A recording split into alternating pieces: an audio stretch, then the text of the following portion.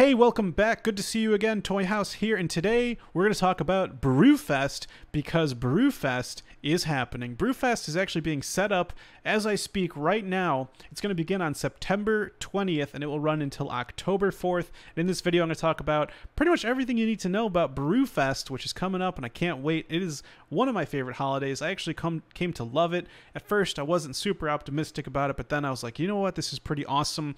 It's not my favorite. My favorite is Hallow's End, but Brewfest is a ton of fun and you can get some really cool stuff. So pretty much just like with all the other festivals, Brewfest basically is a quest that can start from any commoner in any of your faction's capital cities. You can eventually be led to Ipfel Kofer Iron Keg outside of Ironforge. That name is crazy, by the way. Or Tapper Swindlekeg outside Orgrimmar to turn in this quest. So basically, those are the main two questing hubs for Brewfest, either outside Ironforge or outside of Orgrimmar, depending if you're Alliance or Horde. One of the other main quests is Ram Racing. Ram Racing is one of the main mini games of the festival, along with the other barking quests. Barking is sort of a fun way of spreading the word, right? Go bark about Brewfest. Now, with RAM racing, it's actually really important to do this because it's going to unlock the ability to get to BRD really easily. Basically, and, and this is like going to sound familiar for you if you've done it, but do you guys remember how, like, you know, you could, uh, when you're racing your RAM, you can either trot, right? It's going to move at 125% speed and it recovers two fatigue per tick, right? You can canter, and it's going to cost one fatigue, or you can gallop, which costs five fatigue per tick, and you move really, really fast. And then eventually you get exhausted, and you move at 16% speed, which lasts for 15 seconds. So you want to like try to balance between doing a gallop and a canter and like if you're going too much you're getting fatigued go to a trot. You don't want to get exhausted because then you're going to go way too slow. I don't know if you remember that. I totally remember that though. Um, so I don't, it's it's pretty fun. It's a fun little uh, part of brewfest.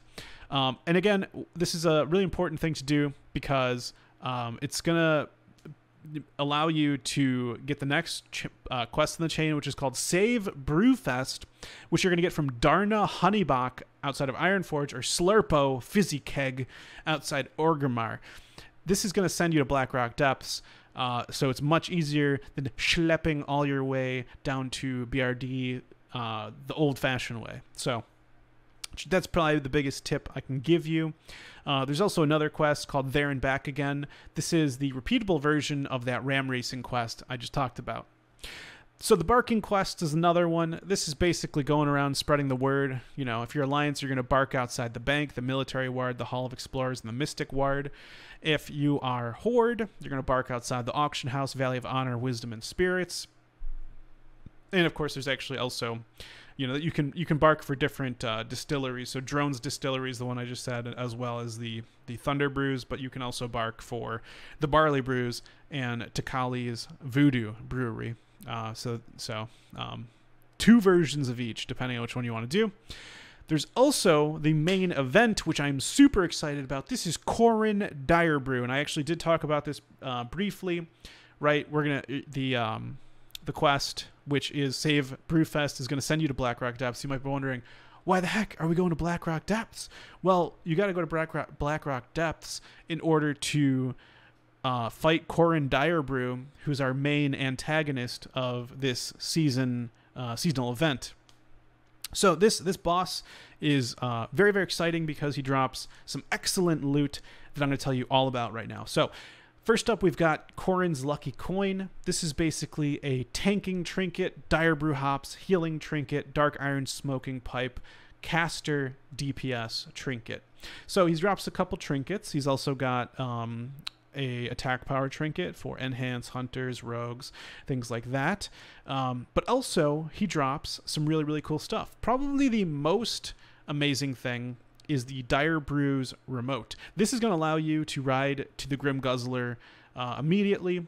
Uh, in my other video, I talk about it's like a rare item you should seek out in Phase 2. Definitely is rare. It has a 3% drop rate off uh, Coren Direbrew, but it's going to really help you uh, get to BRD much quicker. Uh, to be honest, I think this is the fastest way because Save Brewfest is like a one-time thing. It sends you to BRD, but I'm pretty sure it's like you, it's not a repeatable quest. So hopefully someone gets Direbrew's remote, and then you're going to be super valuable once you have that remote. You could probably charge people even. I don't know. I don't know how it'll go, but it's really awesome. There's also Darbrew's Shanker, which is a nice dagger. Darbrew Charm. Um, this is actually a fun trinket which summons the Black Brew Maiden, who will smite your foes with empty tankards. Um, so that's kind of fun. Uh, fun trinket there. Uh, flavorful. Uh, and then, of course, up to debate, but on Wowhead, the Swift Brewfest Ram and the Great Brewfest Kodo are listed here as dropping off Coren Direbrew, 1.7 and 1.3% drop chance, respectively. I've heard people say that this is something you actually purchase with Brewfest prize tokens back in TBC. Gotta be honest, my memory just does not serve me. I don't remember. I know in Wrath of the Lich King they did drop, uh, and you did not have to purchase them for Brewfest prize tokens. By the way, if you purchase them for the tokens, it's actually easier, in my opinion, rather than relying on a drop and then winning a roll. You honestly could get so unlucky that it's just impossible for you to get it. If you get the Brewfest prize tokens, it's pretty much guaranteed if you just put in the time. Okay, so let's talk about you know how you know I mentioned these Brewfest prize tokens. So what exactly do they do? And how do you get them? So some of these daily quests actually reward them. Uh, some of the ones I've actually already mentioned to you. Um, so you know you can you can do uh, you know ram racing there and back again. That's going to give you some um, some Brewfest prize tokens. You can also get Brewfest prize tokens from the barking quests I, I mentioned, about 15. You can also get them from Dark Iron Attack. So Dark Irons are going to attack uh, the festivities outside of Orgrimmar and Ironforge. And if you successfully help defend against these attacks by throwing beer mugs, of course, at the attackers, it will allow you to pick up and turn in a daily quest. So you can do this over and over, um, which is uh, going to give you um, some some rewards there. Okay, and of course, um, just killing Coren Direbrew uh, is a quest chain which will reward Brewfest prize tokens. So the quest itself is called Insult Coren Direbrew. Uh, basically, the spy inside BRD will give this uh, to you. It's actually a daily quest, uh, which which summons Coren Direbrew. So you can do this repeatedly. It's going to give you some uh, good uh, rewards there. Direbrew's Dire Brew. This quest starts from the Dire Brew that is dropped from Coren Direbrew. It's a it's a quest item. You just basically bring it back to either Ipfel Kofer Iron Keg outside Ironforge or Tapper Swindlekeg outside Orgrimmar. Now, there's also chug and chuck. Basically, you're drinking a beer and then you throw in it. You can uh, just do that repeatedly until the quest is done. You get this from Boxey Boltspinner if you're Alliance or Bizzle Quick Lift if you're uh, Horde. There's also another quest this one time when I was drunk. This is a daily quest as well. Um, you get this is basically the quest that you get when you defeat the attack uh, on the festivities by the Dark Iron Dwarfs. That's the name of it. Now there's two more quests. I know there's a lot here with Brewfest. The last two is catch the Wolpertinger, catch the wild Wolpertinger. In order to do this, guys, you got to be completely smashed. Like you can't just be tipsy, you can't just be drunk. You got to be completely smashed in order to see these things in game. Not talk about real life. Disclaimer. I mean, you can you know feel free to enjoy whatever you want to do, but in game, completely smashed. And then you're going to start seeing these little Wolpertingers go around. They're basically rabbits with antlers. Um, this one time, by the way, uh, my friend he's got he's got like a rabbit mounted on his wall with antlers, and it's like a Wolpertinger, right? But it's just funny because like typically, don't you mount things on your wall that are like trophy size? It's oh, I got I got this giant fish or this giant buck, this deer. But it's like oh, the dude mounted a rabbit on his wall. just like I don't know, I thought it was funny, uh, but it was a Wolpertinger, so today I learned. Um, so make sure to get completely smashed in order to see these Wolpertingers, capture them, turn them in, and you actually get uh, a Wolpertinger as a reward from the quest. Um, so that is awesome. Um, you have a cute little pet if you're a pet collector. Uh, it's really easy to get though, so it's not like super flex mode or anything. The next one is Pink Elekks on Parade, or I should say the last one is Pink Elekks on Parade. You actually just go to different areas um, and and zap these Elekks at the location and then go back. You got to be wearing these Synthebrew goggles in order to see the pink Elekks.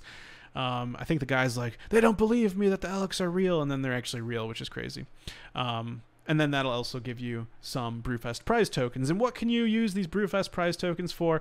Well, I believe you can use them for lots of different uh, food that you can buy. You can also that actually the food is just just uh, currency, copper, silver, gold. But you can buy clothing like Brewfest hats, dress, regalia, slippers.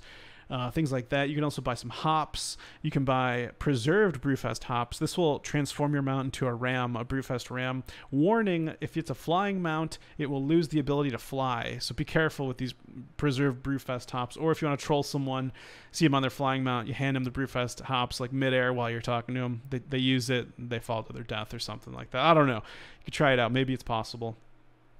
Um, so nothing like too crazy. And again, we, I'm not 100% sure.